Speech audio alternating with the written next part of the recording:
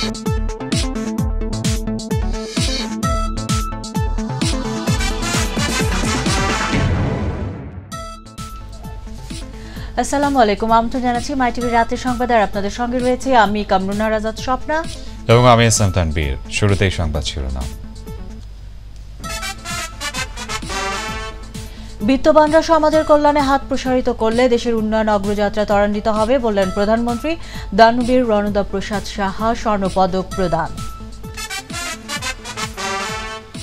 রোকে হল প্রফেসর অব্যাহতির চেয়ে অনশনকারী শিক্ষার্থীদের অনশন স্থগিত কঠোর আন্দোলনের হুঁশিয়ারি দিয়ে চব্বিশ ঘন্টার আলটিমেটাম রাষ্ট্র নির্বাচন নিয়ে তর্ক বিতর্ক বা আন্দোলন করে লাভ নেই বললেন নাসিম এই নির্বাচন সুষ্ঠু হলে দেশে সত্য বলে কিছু নেই মন্তব্য শামসুজ্জামান দুদু বিশ্বব্যাপী সেভেন থ্রি সেভেন ম্যাক্স বিমান চলাচল স্থগিত রাখার ঘোষণা বোয়িং কর্তৃপক্ষের নিরাপত্তা ইস্যু নিয়ে প্রশ্ন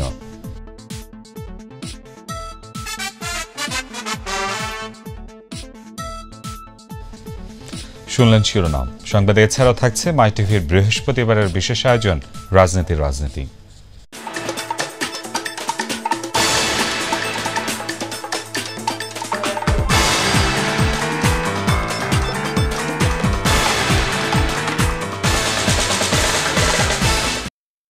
আরও থাকছে অর্থনীতি নিয়ে বিশেষ আয়োজন নিটোলায়াত প্রপার্টিজ বিজনেস ইনসাইট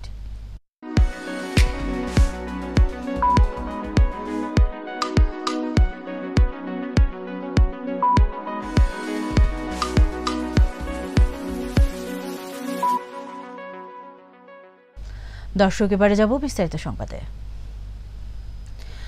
জনসেবা ও মানবিক কল্যাণধর্মী কাজে দেশের বিত্তবানদের এগিয়ে আসার আহ্বান জানিয়েছেন প্রধানমন্ত্রী শেখ হাসিনা দুপুরে টাঙ্গাইলের মির্জাপুরে কুমুদিনী কমপ্লেক্সে কুমুদিনী ওয়েলফেয়ার ট্রাস্টের সেবা কার্যক্রমের ছিয়াশিতম বর্ষপূর্তি ও দানবীর রণদা প্রসাদ সাহা স্বর্ণ পদক প্রদান অনুষ্ঠানে প্রধান অতিথির বক্তব্যে আহ্বান জানান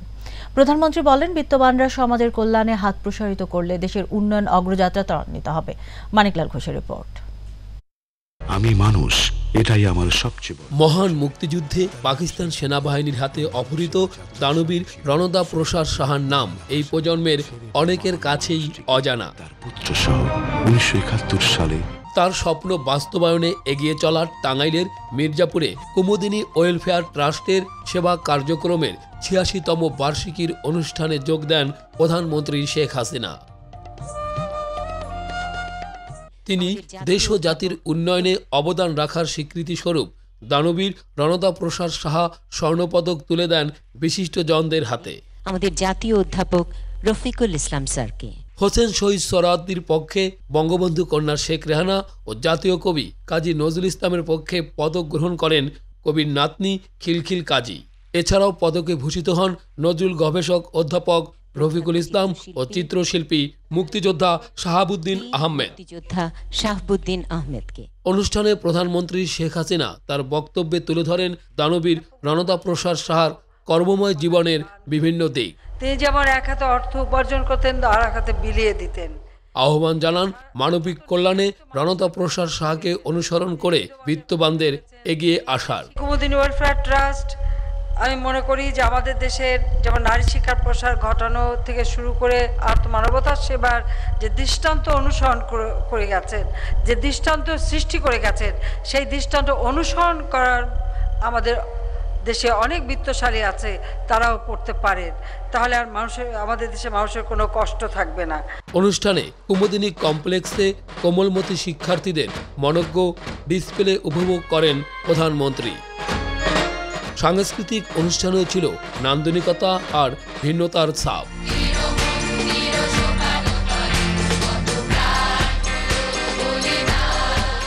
এর আগে অনুষ্ঠানস্থলের বেইজ ওয়ালে বারোটি উন্নয়ন প্রকল্পের উদ্বোধন ও উনিশটির ভিত্তিপ্রস্তর স্থাপন করেন প্রধানমন্ত্রী শেখ হাসিনা আল্লাহ আজকের এই সুন্দর আয়োজনকে আপনি কবুল মঞ্জুর করেন মানিক লাল ঘোষ মাই টিভি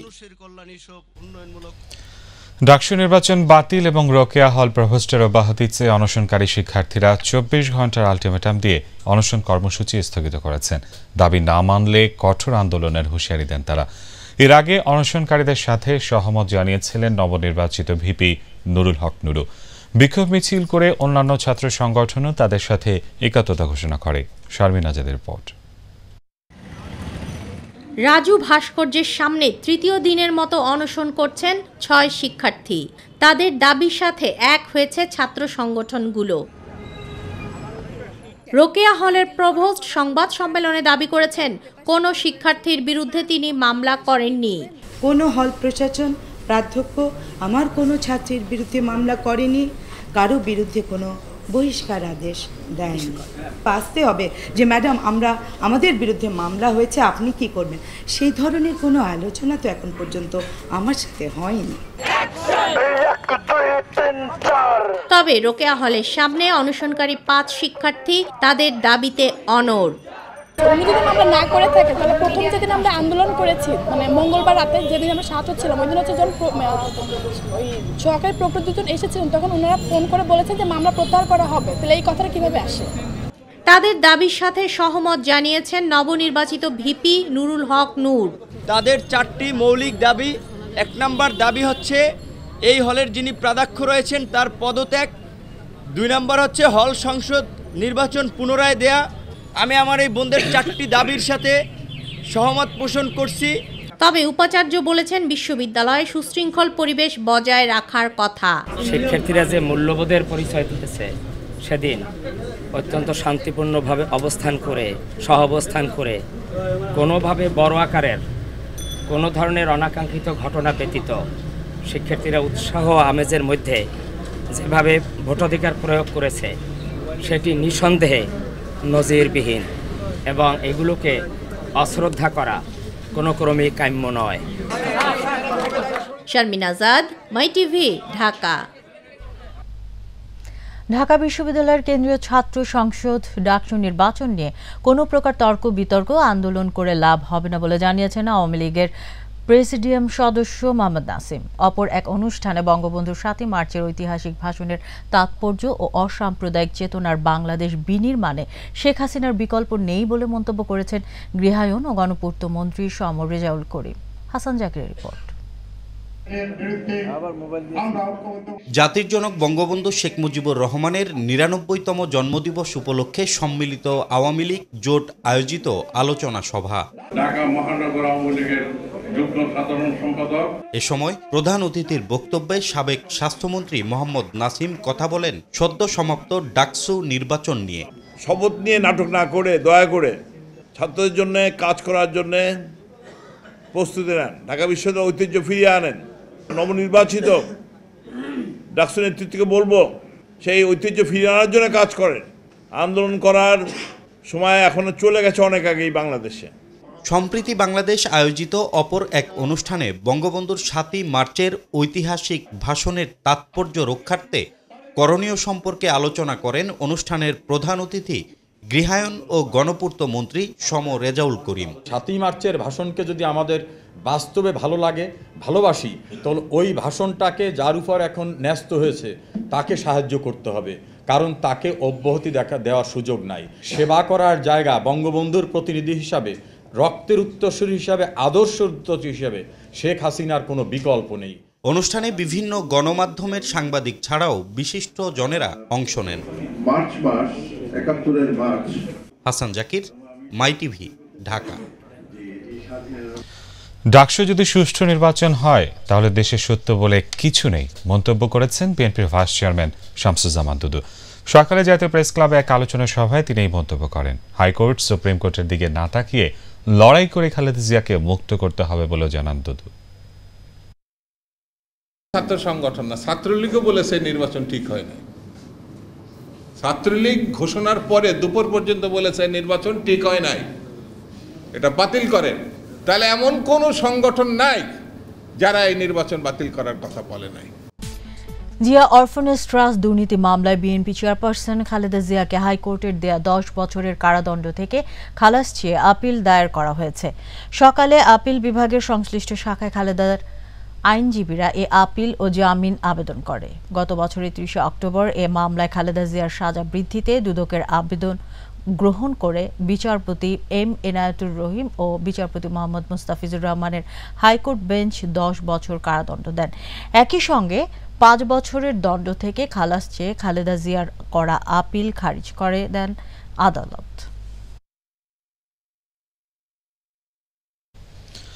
নিজ দেশের মানুষকে ধোকা দিতেই আরসিবিসি ব্যাংক বাংলাদেশ ব্যাংকের বিরুদ্ধে মামলা করেছে বলে মন্তব্য করেছেন আইনমন্ত্রী আনিসুল হক তিনি জানান ফিলিপাইনের এই ব্যাংকটি এরই মধ্যে নানা অভিযোগে অভিযুক্ত হয়েছেন সচিবালয় জাপানের রাষ্ট্রদূত হিরোই আসু লিজিমির সঙ্গে বৈঠক শেষে সাংবাদিকদের এসব কথা জানান আইনমন্ত্রী বৈঠকে আন্তর্জাতিক কোর্ট অব জাস্টিসের দক্ষিণ এশিয়ার পক্ষে সদস্য হিসেবে জাপানের পক্ষে বাংলাদেশের সমর্থন চান জাপানের রাষ্ট্রদূত প্রধানমন্ত্রীর সাথে আলোচনা করে এ বিষয়ে সিদ্ধান্ত নেওয়া হবে বলে জানান আইনমন্ত্রী ফিলিপিন্স সরকার ফিলিপিন্সের সেনেটে পর্যন্ত তাদেরকে এই হ্যাকিংয়ের কারণে তাদের যে আচরণ এবং তাদের যে কন্ডাক্ট সেই কন্ডাক্ট এর জন্য তাদের সেনেট তাদের সরকার কিন্তু আরসিবিসিকে দায়ী করেছে তো সেইখানে যদি বাংলাদেশ ব্যাংক কোনো আইনি পন্থায় তাদের বিরুদ্ধে কোনো মামলা করে থাকে তাহলে সেটা মান হানিকর কিছু নয় ধন্যবাদ কুড়িগ্রামের সর্বত্রই খোলা বাজারে বিক্রি করা হচ্ছে পেট্রোল অকটেন আর গ্যাস সিলিন্ডার মুদি দোকান থেকে শুরু করে ওষুধের দোকানগুলোতে অবাধে বিক্রি করা হচ্ছে সিলিন্ডার অসতর্কভাবে সিলিন্ডারগুলো প্রদর্শনের ফলে যে কোনো সময় ঘটতে পারে দুর্ঘটনা কুড়িগ্রাম প্রতিনিধি এস এম আশরাফুল হক রুবেলের রিপোর্ট জানাচ্ছেন রাজিয়া সুলতানা স্মৃতি কুড়িগ্রামে অরক্ষিতভাবে লাইসেন্সবিহীন দোকানে অবাধে চলছে গ্যাস সিলিন্ডার বিক্রি মান নির্ণয় ছাড়াই এসব সিলিন্ডার ব্যবহার করছেন জেলার নয় উপজেলার লক্ষাধিক মানুষ একটু লাভের আশায় মুদি দোকানিরা এই সিলিন্ডার বিক্রি করছেন অসতর্কভাবে আমরা এখানে এলপিজি গ্যাস বিক্রয় করি যেটা শাহ স্টেশন থেকে আমাদের এখানে সরবরাহ করে এলপিজি গ্যাস আমি বাসাবাড়ি ব্যবহার বিক্রি করি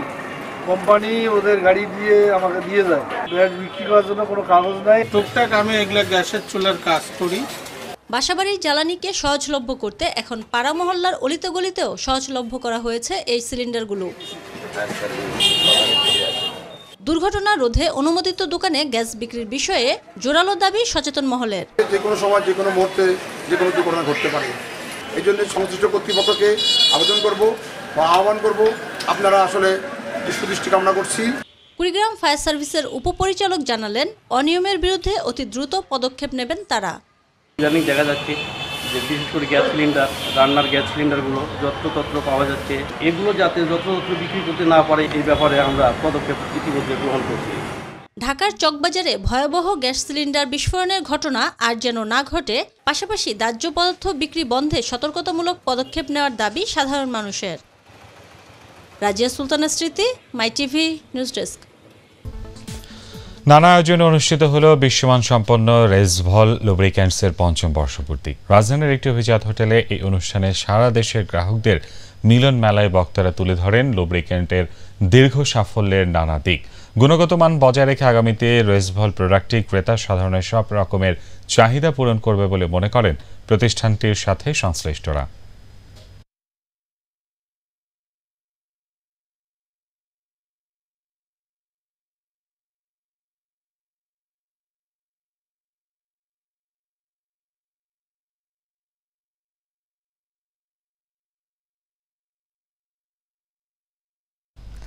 সুস্থ কিডনি সবার জন্য সব জায়গায়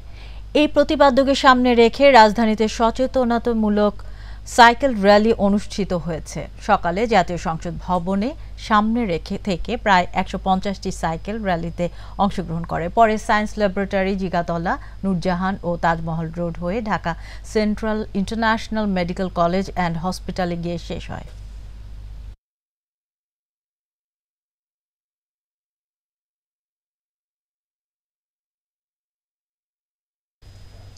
এবার প্রবাসের খবর বাংলাদেশ সেনাবাহিনীর প্রধান জেনারেল আজিজ আহমেদ কুয়েত সশস্ত্র বাহিনী chief of general staff lieutenant general Mohammad Khalid Al Khader সঙ্গে সৌজন্য সাক্ষাৎ করেছেন এ সময় তারা উভয় দেশের সশস্ত্র বাহিনীর মধ্যে বিদ্যমান সুসম্পর্ক ও পারস্পরিক সহযোগিতামূলক বিভিন্ন বিষয়ে আলোচনা করেন জেনারেল আজিজ কুয়েতে বাংলাদেশ দূতাবাস Ali Al Sabah military college ও Mubarak Al Abdullah joint command and staff কলেজও পরিদর্শন করেন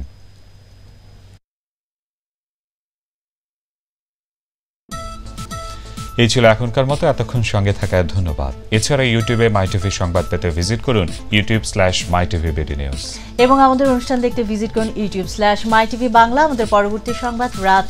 দুটা ত্রিশ মিনিটে দেখার আমন্ত্রণ জানিয়ে বিদায় নিচ্ছে আমি কামরুন নাহরাজাদ স্বপ্না এবং আমি টান বীর আল্লাহ হাফেজ